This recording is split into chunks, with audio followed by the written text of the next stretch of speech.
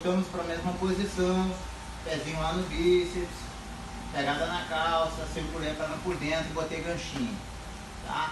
Agora eu vou novamente puxar lá, ó. Só que agora, é claro que eu não sou inocente de achar que todo mundo vai ter uma base ruim e a hora que eu fizer isso aqui o cara vai balançar.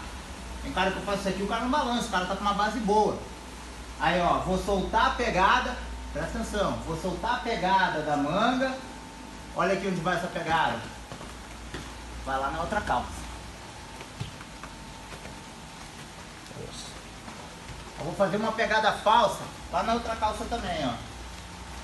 A pegada ela é bem parecida com essa que tem desse lado aqui, ó. Tá? Vou começar a empurrar ele com esse pé aqui agora, ó. E essa perna ela vai retornar. De novo. Pode até estar tá segurando a calça lá. Quando eu empurrar lá, ele vai ter que botar a mão no tatame, ó, pra não ser raspado. E aí é o tempo que eu tenho pra essa perna retornar. Ela retorna, eu já tiro a outra também e subo puxando as calças, tá? De novo.